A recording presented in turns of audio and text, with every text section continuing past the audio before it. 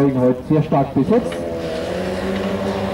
Mit der Klasse F8 starten, wir schauen mal kurz hier auf den Fortschrittlichwert dann Dr. Prüf, der Klassenstarter ist zum zweiten Währungslauf.